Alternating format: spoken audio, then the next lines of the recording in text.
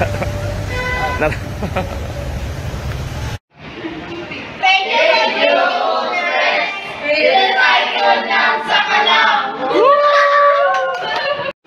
go.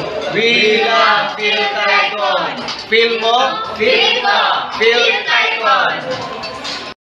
Saan Sana? Yeah! Guys, nandito na yung ano guys, tarpaulin sa Actually guys, ito lang siya. Ang temporary lang siya. Para natin mga bisita, at least makita nila yung Phil Tycoon right? Yes. Actually, ang pinakanindot nga tarpaulin ni kanala sa babaw nga side. So, karon guys, ito ka sa sulod sa office sa Phil Tycoon CDO Stockist. Yes. Guys, ano guys? Mali, mali. Welcome po sa mga new and invite. So, first guys, no? Sa mga networker nga ibang gutom bitaw, siyempre, nadala kang guest, free coffee, magbayad pa ka sa Jollibee. Dire, na natin pwede makaon. so, pili lang kag mga pwede naman i-offer sa mga bisita, right? Coffee or lunch or dinner. It's up to you, right? Then napod tayo mga juice dire. pwede na ka magkuha din mga drinks para ipainom sa mga bisita. Tama? So, dire, sample lang, start ka sa business, wala kay income, right? Tapos gusto nimo ipa kaya ipa-drinks mo yung customer, so pwede na ka dire mo kuha, hindi mo na ipalista. Yun Yes. Naman, naman si upline, right? Okay, kayo. Tapos, itong table guys, itong table is para din sa mga visitor or customer dire. At least, ma-present mo proper yung business. No? Dahil, kung gusto mo ating mga big presentation, kapatid. Kung iuhapod ka, natin libre tubig. Iyo, no? Ah, So, pray siya, pray. Then natin yung mga products.